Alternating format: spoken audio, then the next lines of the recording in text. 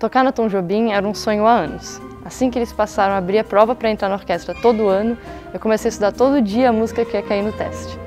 A Orquestra Jovem Tom Jobim se tornou uma grande escola de formação de jovens músicos. Muitos músicos que a minha geração já considera mestres passaram por aqui pela orquestra. Seguindo com a série de concertos comemorativos dos 20 anos dessa orquestra que é uma joia do estado, nós faremos um repertório muito especial com músicas do nosso patrono. É, faremos um Jobim de câmara e teremos a presença especialíssima de um dos fundadores da orquestra, o grande músico, maestro e arranjador Roberto Sion.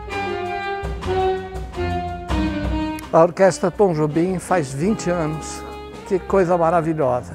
Não poderia, acho que, ganhar melhor presente do que receber esse convite. Muito contente de ter visto essa orquestra sempre prosseguir cada vez num nível maior e eu desejo que muitos, muitas décadas, que muita música se siga entre esses jovens e os jovens que chegarem, que a gente possa cada vez mais crescer o movimento musical no Brasil.